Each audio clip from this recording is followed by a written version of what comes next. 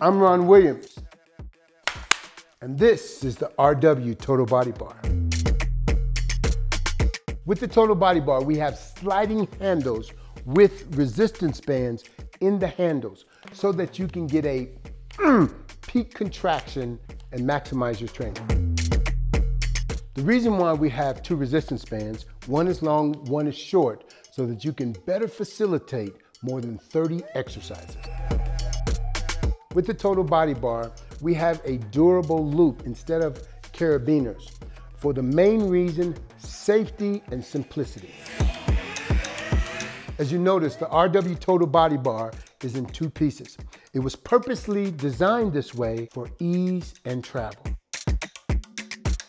The total body bar comes with three screws for the assembly. The reason why, if you use a telescope, it weakens the structure. If you use a pop-up pin, it limits your range of motion. On the total body bar, we have webbing on the resistance bands, mainly for safety, comfort, and your protection.